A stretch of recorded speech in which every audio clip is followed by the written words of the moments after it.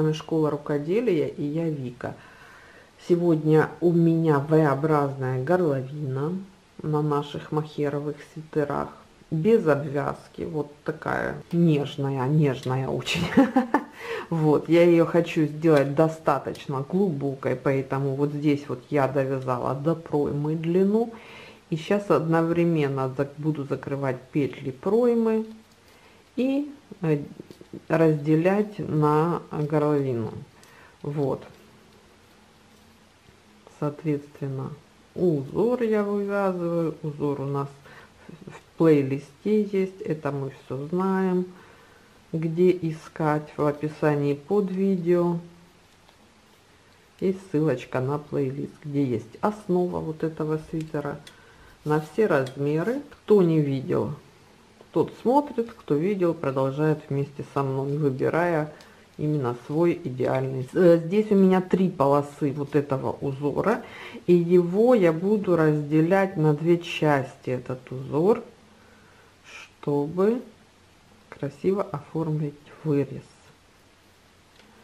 Вот, три вместе у меня, накид, лицевая, накид, здесь у нас вот эта центральная. Здесь мне нужно сделать 4 петли из нее каким-то образом. Сейчас я 1 2 3 и вот за вот эту вот стеночку 4 то есть из одной петли я сделала 4 петли. Теперь снова по узору накид лицевая накид 3 вместе. Узор изучить. Ну я думаю он у вас если уже вы добрались до этого места, то узор у вас уже изучен. Если же вы вяжете просто лицевой гладью, то, соответственно, найдите, определите свою центральную петлю, которая у вас будет находиться по центру изделия, и из нее вывяжите 4. Хотя, если вы не вяжете узор, то вам достаточно будет просто разделить ваше изделие пополам.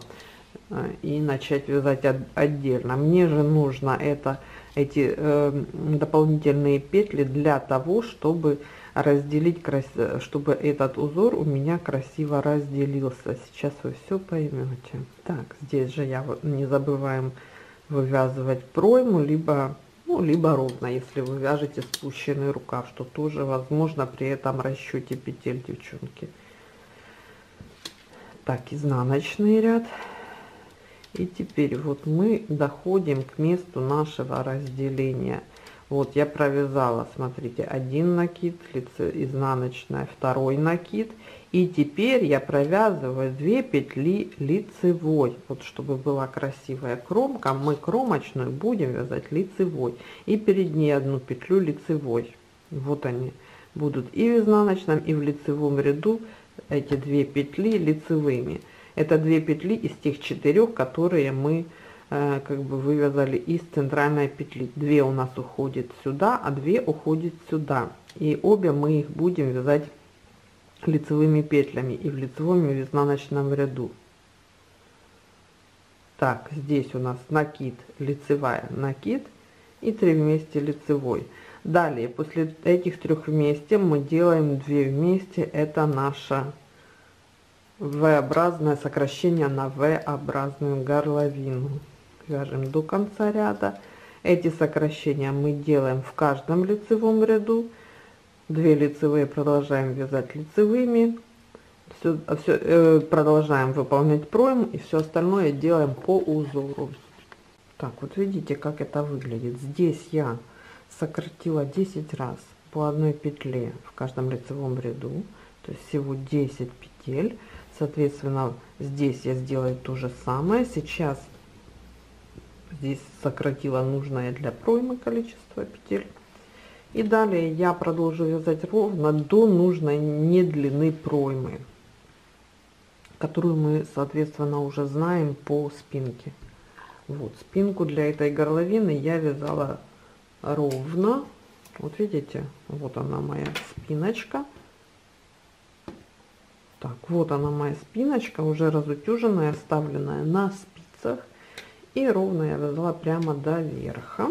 И сейчас я довяжу эту часть уже без никаких убавлений до самого верха, вот сколько мне нужно здесь рядов посчитай, и свяжу эту вторую часть. Вот, а потом мы сошьем эти детали. Так, мои хорошие, вот теперь я вам хочу показать, какая получается красота с этим узором. Невероятно, это еще, еще это же еще не разутюжено, да? Вот, видите, какая получается окантовочка V-образного выреза. Мне очень нравится, девчонки. Так, теперь, что я буду делать сейчас? Я лицевыми сторонами складываю спинку и переднюю часть и буду шивать крючком всего лишь. Вот так отсюда и в конец. Там, где у нас есть петли передней половинки, мы их берем. Там, где их нету, мы просто закрываем петли спинки. Вот и все. Таким вот образом беру я по одной петле с каждой спицы, одну петлю со спинки, одну спереда, провязываю вместе. Таким образом я и закрываю петли, и сшиваю. Так, вот у меня закончились петли переда. Я теперь закрываю просто петли спинки. Можно спицей, можно крючком. Отлично. Теперь нам нужно посчитать, сколько у меня здесь. Раз, два, три, четыре, пять, шесть, семь. 20 петель. Раз, два, три, четыре, пять, шесть, семь, восемь, девять, десять, двадцать. И сейчас вот здесь вот у меня обрезана нить. Я ее привяжу.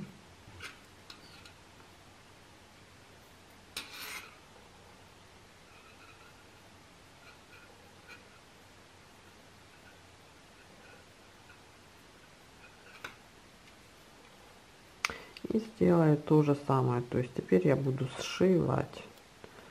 А ту провязанную нить я потом продену.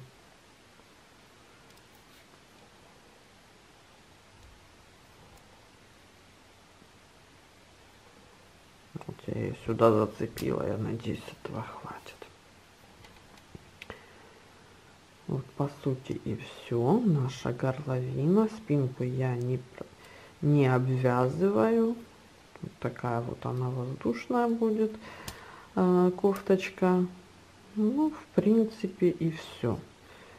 Как краешек делать, есть видео, как узор делать, есть видео, как вязать основу, есть видео, все в плейлисте под видео в, описании. Сначала начинаем с основы, то есть определяем свой размер и вяжем основу. Все есть в видео. Все разделено на разные видео. Поэтому начните с основы, а дальше уже с выбора, с моделинга своей идеальной модели. Все, здесь я вот просто вот обе нити возьму вот так вот И заканчиваем. Вот и все, девчонки. Вот наш V-образный вырез горловины. Еще я это все дело проутюжу. И будет красота неимоверная. Все. На сегодня все, девчонки. С вами была Вика из школы рукоделия. Всем пока-пока.